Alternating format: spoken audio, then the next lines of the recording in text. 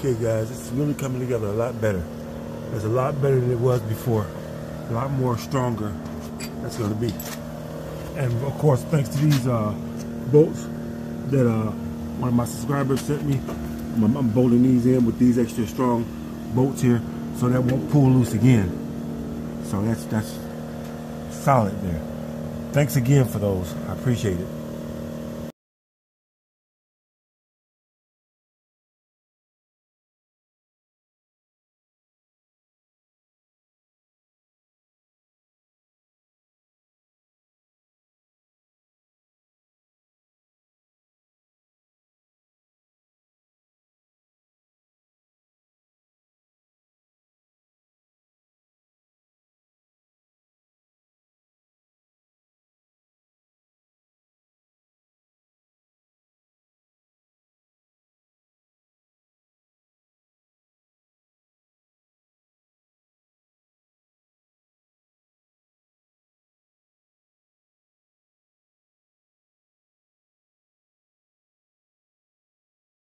Well, guys, that's that.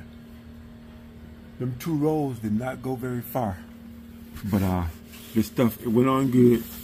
I got a little bit of a seam right here. Now I'm put this on the bottom part here. I'm gonna continue this all the way down. I, had, I ended up right here. This is where I ran out. I'm gonna continue that all the way down to the other end. And then I'm gonna go another one on top of this, overlapping the top of this onto this one to um, make a good seal right there. I got that seam right there, pretty good. And the top of that skylight there is pretty well sealed on this side and across the top. And on the other side here, I got this far, about to there. I was able to cover the whole thing, but I'm gonna overlap it on, again on this side right here and feel that. I should have put the bottom on like I did on the other side and then put this part on top. But uh, that's not much. I might just go over top of it again and do it again. This is a good seal right here, down to the side. I got to seal it all the way down to that side there. Go all the way across here. Got to go all the way across the front here and around there. Those hip joints there, I got to get those. And across the top of the skylight, I got to get. That stuff doesn't go very far. I forgot how much I paid for this stuff. I just grabbed it up or whatever. But it should be good stuff. It's sticking really good to the wood. You know, and it's holding pretty good and it seems pretty tough. It's pretty strong stuff. So it'll take some abuse, you know, going through um, branches rubbed against it and uh, harsh weather, maybe even hail. It'll survive that, you know, pretty good. So we're gonna see how this works or whatever. But uh, I'm gonna have to get another couple of rolls.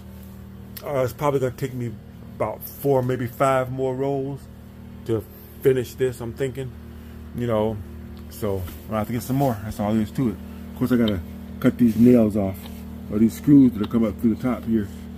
I screwed that in to reinforce it. Gotta get those cut off and uh, do some more work there.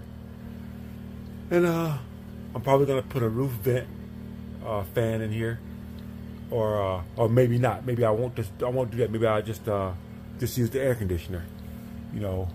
But uh, we'll see. But uh, I didn't get much accomplished today, but I'm, I'm satisfied with what I got done, and um, this is gonna work.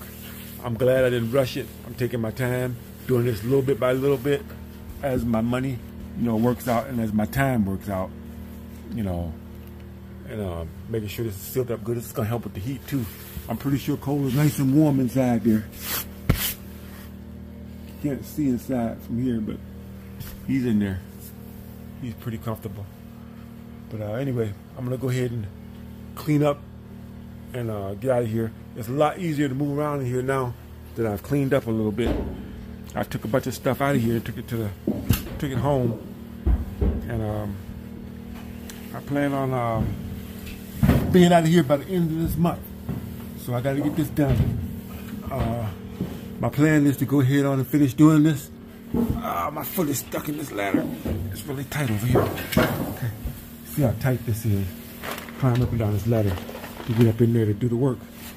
But uh, yeah, so uh, I want to finish sealing those seams all the way around, and then I'm gonna paint it with that uh, paint I got there. and then I'm gonna get some uh, some gray paint and paint it with gray paint and make it match the truck. And uh, once I do that, I may go to the the Rhino liner place and have them do one of those spray bed liners over the whole thing.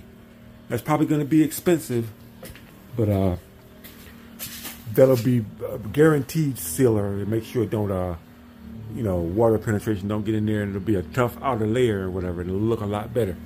And then I'll paint that gray. See how that works, whatever. Maybe I will, maybe I won't. I'm not sure about if that's going to happen or not, but we'll see. But uh, anyway, that's it for today. I'm to get Coal out of here. And we're to go home. It's starting to get dark. And uh, thanks for watching. Yeah, he heard me call his name. Let me see what my little buddy's doing. He's been there for a while. Ooh, I can feel the heat. Oh, it's nice and warm in there. You comfortable, buddy? Huh? Come on.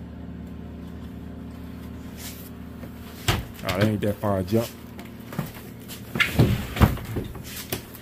Come on down. Good boy. So, yeah, I'm going to clean up and get out of here.